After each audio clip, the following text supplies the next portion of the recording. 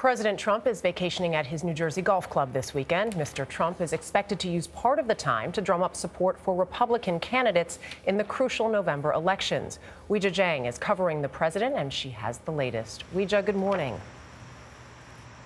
Good morning. President Trump is waking up to day two of his 10 day vacation in Bedminster that will be a mix of pleasure and business. As you mentioned, he'll be taking day trips to campaign for Republican candidates who are racing in the midterm elections. In fact, he arrived in New Jersey on Thursday night after a campaign rally in Pennsylvania, and then he spent yesterday at his golf club. The president also tweeted an insult to NBA star LeBron James, who said during an interview with with CNN, he believes the president is using sports to divide people. Mr. Trump wrote LeBron James was just interviewed by the dumbest man on television, Don Lemon. He made LeBron look smart, which isn't easy to do.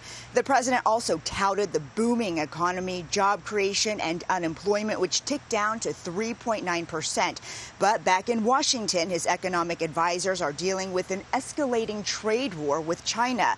Beijing warned it will put tariffs on 60 billion in U.S. goods, including coffee, if the U.S. moves forward with a proposal to place tariffs on $200 billion in Chinese imports. Meanwhile, Secretary of State Mike Pompeo shifted the administration's message on North Korea, acknowledging there was still a ways to go to get North Korea to denuclearize. President Trump has said the U.S. was making significant progress.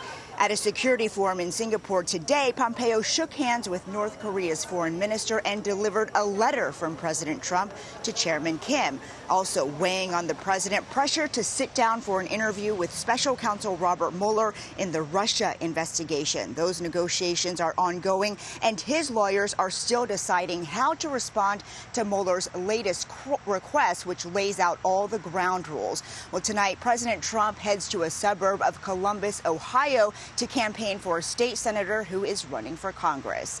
Back to you. Weijia Jiang with the president in New Jersey. Thanks.